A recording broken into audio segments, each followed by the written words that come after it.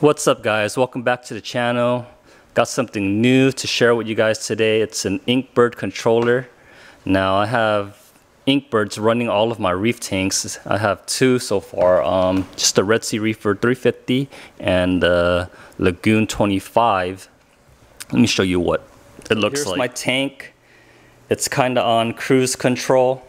I'm just adding little pieces here and there when deals come up on OfferUp. Like I picked up this pink toadstool.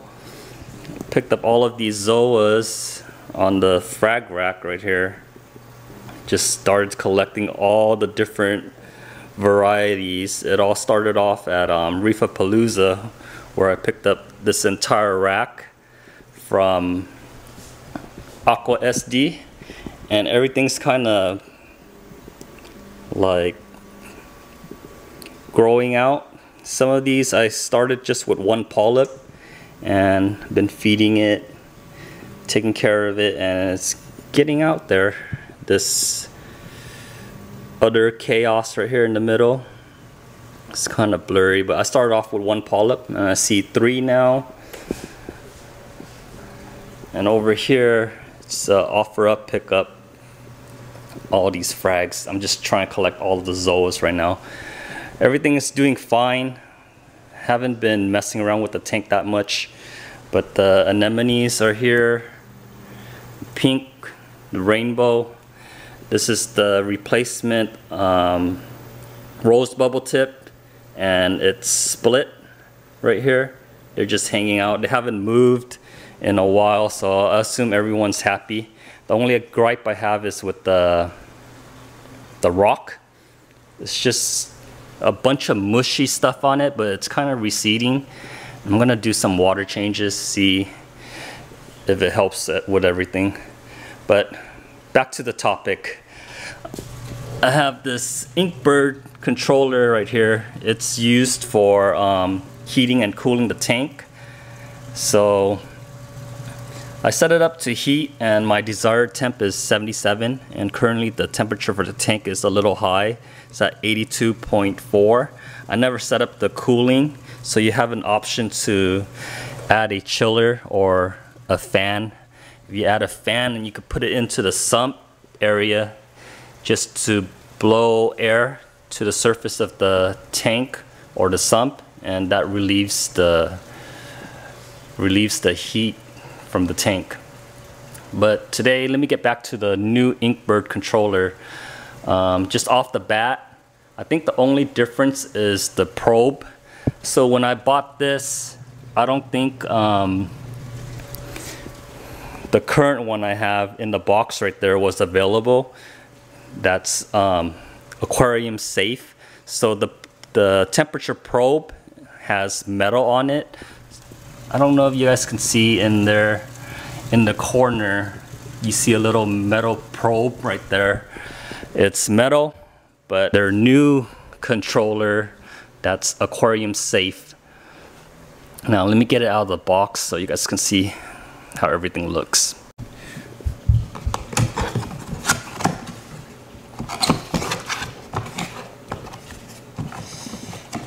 opening the box right here it's a warranty card, 12 months. Here's the instructions.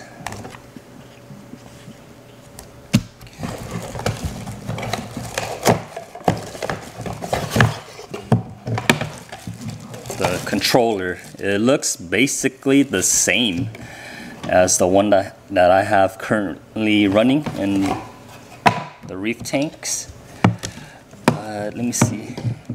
So right here you get one cooling, one heating socket. And the difference is right here.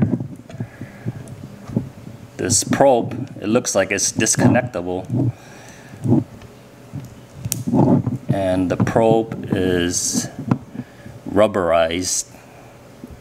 So that's the only difference. Um, probe being rubberized versus uh, metal and it's disconnectable.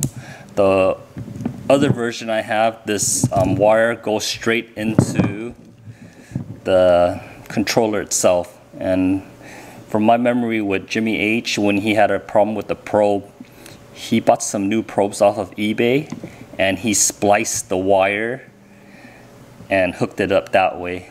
So I think these are consumable, so it could malfunction, and then making it disconnectable makes it easier to um, replace when anything goes wrong. So you don't have to get rid of this entire controller, just the probe.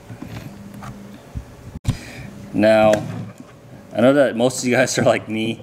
You guys just take the product out and then set it and forget it that one time. And no one really keeps this instructions manual or at least I always lose it. So for the rest of the video, I'm just gonna do a walkthrough of how to use the Inkbird controller and just have it up online for anyone who needs instructions or uh, a how-to on programming the Inkbird controller. Alright guys, pretty easy to get into the controller to set up all of your settings. All you gotta do is hit set for about five seconds. Once five seconds is up, um, these two displays right here would change. PV would start listing all of your parameters available. SV is going to be your desired um, settings. Um, to toggle through all of the parameters, all you got to do is continue hitting set and it will like flash through all of the different um, abbreviations. And to set your values, you just toggle it up and down with these two buttons right here. So I'm gonna go through all of the parameters available um, real quick. So you'll have a reference um, to what each abbreviation means. So here we go. I'm gonna press set for five seconds. There you go, we're in. TS stands for temperature set. HD stands for heating differential. CD stands for cooling differential.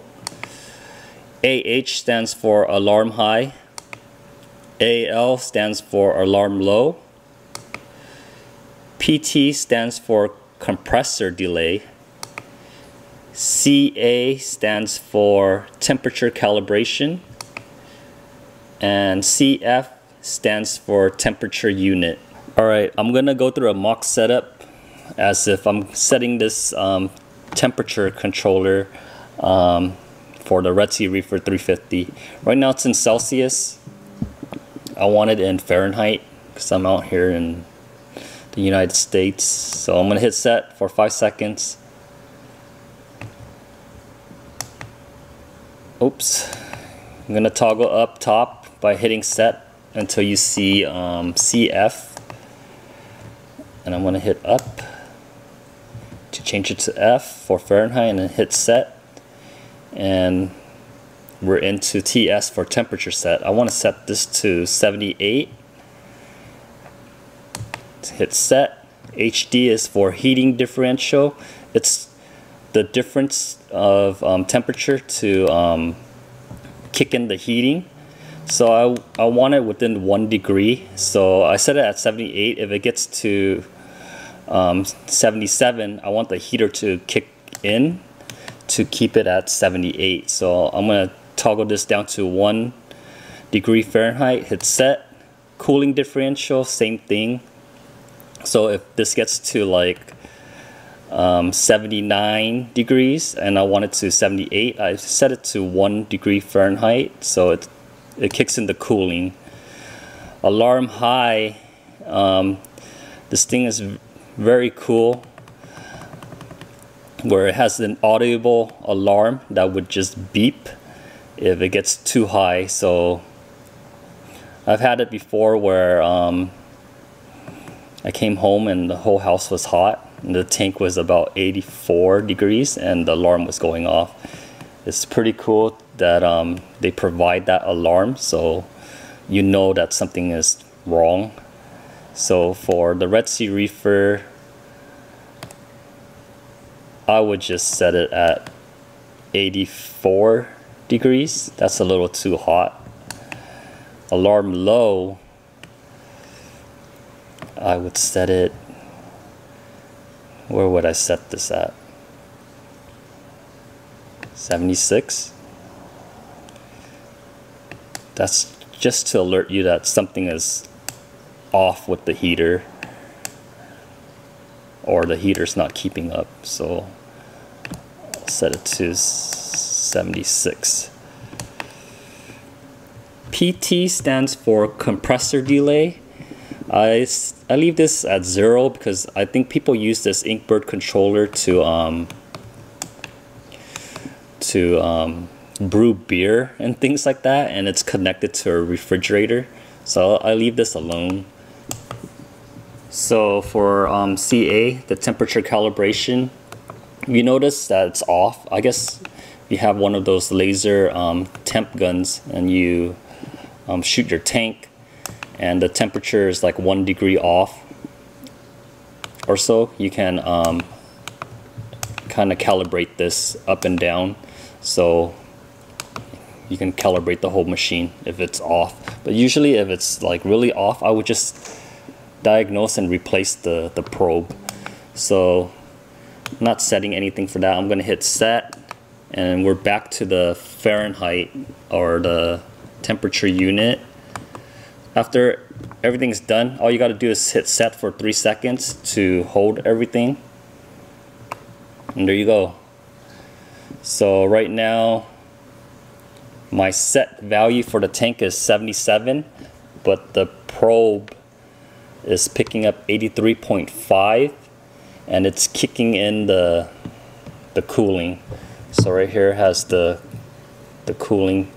Um, usually I plug in a fan for my Lagoon 25. I have a fan in and heatings for heater. But that's about it. If you guys like that tutorial, be sure to like, comment, and subscribe. I want to know what you guys are using to kind of fail safe your tank. Um, I use this pretty much every day when I'm looking at the Red Sea Reefer. I'm not messing with the controls or anything like that, but I'm taking a look at this PV value just to understand or register in my head where the temperature is at for the day. I think it's a very valuable thing to have where you're just taking a quick glance and you know the temperature versus um, using that laser gun and shooting the temperature. I always misplace that that tool and I think the heads up display is very valuable. Besides that, I like the built-in alarms so if anything ever goes wrong and it's out of your parameters, the alarm would sound and alert you right away that something is wrong with, with your tank.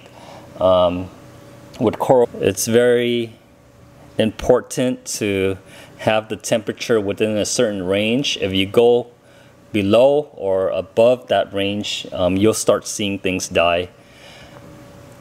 But yeah, if you guys are picking up the Inkbird controller for the aquarium, be sure to pick up the this model number right here.